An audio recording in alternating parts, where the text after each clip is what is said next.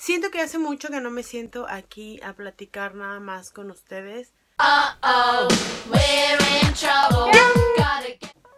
La verdad es que estos días han sido un poco, pues, difíciles, extraños. Los últimos par de meses no me he sentido súper increíble, entonces es algo con lo que he estado debatiendo mucho. Em, son, pues, esta ansiedad que me ha provocado como todos estos problemas que existen solamente en mi cabeza, todas estas cosas con las que me debato. Me he salido mucho de mi camino y de repente pues me empecé a confiar, luego empecé con esto de pues ok me voy a permitir hoy un poco más. Una vez platicamos acerca de si te comías tus sentimientos y yo decía es que yo no me como mis sentimientos, no me ha pasado, no sé, no, no me pasa. Y no es tal cual que me coma mis sentimientos porque diga yo estoy súper feliz voy a comer, estoy súper triste voy a comer, pero más bien es una ansiedad que me dice que necesito tener algo así mordiéndolo todo el tiempo, que necesito estar comiendo, es la ansiedad, me como mi ansiedad y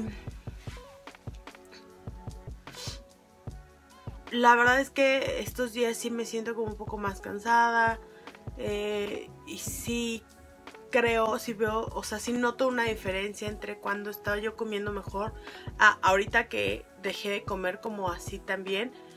Y es algo en lo, en lo que estoy, pues, estoy tratando de volver a esos hábitos alimenticios, a, empezar a comer otra vez mejor. No es que estuviera yo así que dijera, no, hoy voy a comer tortas, enchiladas y... No, pero pues sí decía, me voy a comer.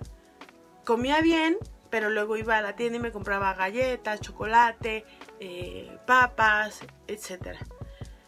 Y pues sí siento que ya está como está como que afectándome, ¿no? Hace como un mes y medio más o menos tuve también un problema que tuve una crisis hipertensiva en la que me puse un poco bastantito mal. Eh, me empezó a doler la cabeza un día y al día siguiente estaba peor y peor y peor. Entonces terminé yendo ese día al doctor y fue eso, tuve una crisis y me cambió el medicamento. Entonces estoy tratando de volver como un poco a esto de comer bien y más que comer bien, que no era que yo comía mal, sino que empezaba a comer cosas entre comidas, cosas que no estaban bien y no es que no, o sea, literal lo hago porque no me siento bien yo, no me siento bien pues físicamente, mentalmente. Hace unos días les preguntaba en Twitter que, qué era lo que ustedes sentían antes de tener un ataque de pánico. Porque muchas veces ustedes me han dicho que también tienen estos problemas, ansiedad, depresión, etc. Y hay mucha gente que me ha dicho yo sufro de ataques de pánico y nunca me había puesto como en ese tema, ¿no? O sea, y fue como muy interesante leer como todas las cosas que me dicen. Y yo reprimí como durante tanto tiempo ese tipo de sentimientos. Eh,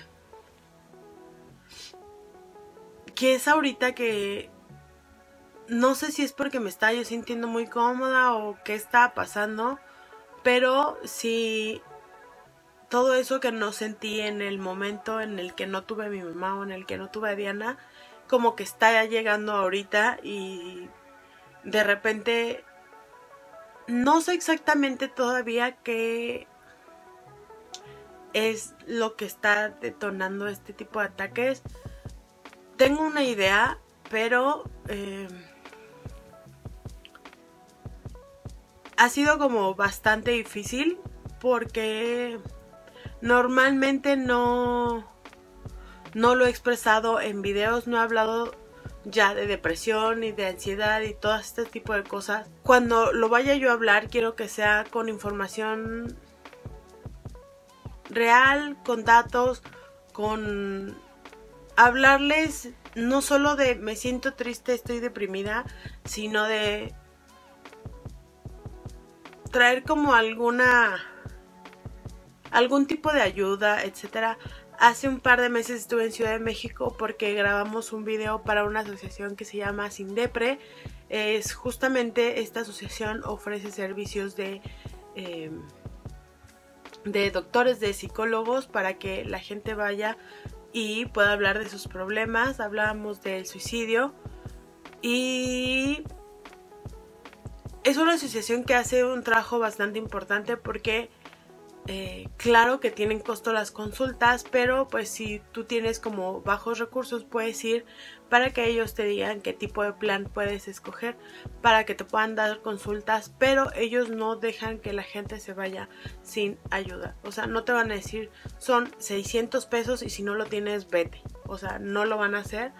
Creo yo que es algo muy importante porque muchas veces nos sentimos tristes y no sabemos por qué y no siempre queremos pedir ayuda o no siempre podemos pedir ayuda. A mí a veces se me hace muy difícil hablar como de mis sentimientos y esas cosas con la gente que es más cercana a mí porque pues es cuando más vulnerable estás, cuando más triste, cuando más pues abierto estás y a veces siento que es más fácil hablarlo con alguien que con alguien que no conoces, ¿no? O sea, entonces si ustedes, alguien de ustedes tiene algún problema, quiere hablar con alguien, no sabe con quién hacerlo, pueden contactarlos. Les voy a dejar aquí abajo sus redes sociales, les voy a dejar su página. Pueden llamar por teléfono para hacer una cita para que puedan pues recibir la ayuda que ustedes necesitan. Eh, no me están pagando por decir esto, de verdad que yo cuando fui a hacer el video con ellos lo fui a hacer porque me lo pidió de favor un amigo que pues en realidad es amigo de Diana y pues nos conocemos por Diana. Yo lo hice con mucho gusto porque justamente era una causa con la que yo sentía mucha empatía.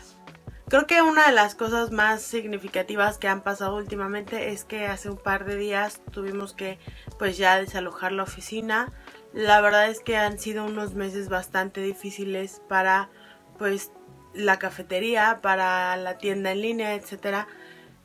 Y pues tuvimos que cerrar la oficina porque pues no tenemos como las ventas necesarias para poder seguirla teniendo abierta. Les grabé como un poquitito de antes de que llegáramos a sacarla. Amigos, es el fin. Hoy vaciamos nuestra oficina. Ya nos vamos de aquí adiós. Ya se nos acabó el jueguito, muchachos. el jueguito. adiós. Tiene una hora, ¿eh? No crean que nos tardamos mil horas. Fue bastante rápido. Pues obviamente siempre que tienes que cerrar una cosa así es como feo porque pues sientes que no estás haciendo las cosas bien, sientes que algo está mal y pues es difícil, ¿no? Vienen cambios, cambios muy... Pues creo yo que radicales, hay, hay muchas cosas que se van a hacer. Ya les estaré contando más adelante conforme se vayan dando.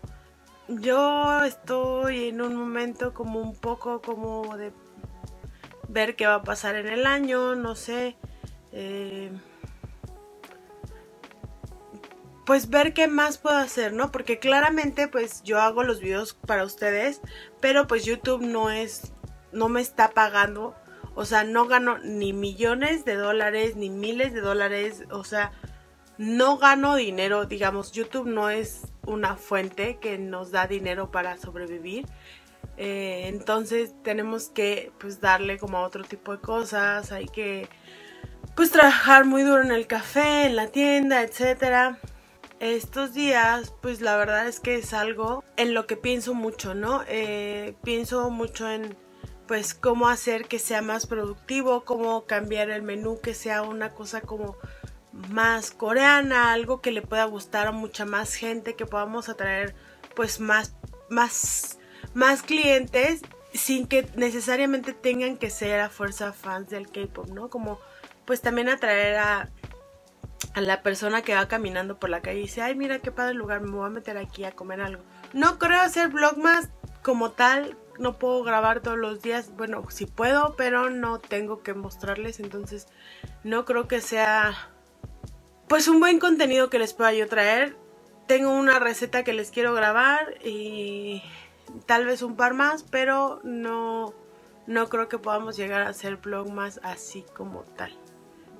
Pusimos el árbol, les voy a dejar aquí unas imagencitas.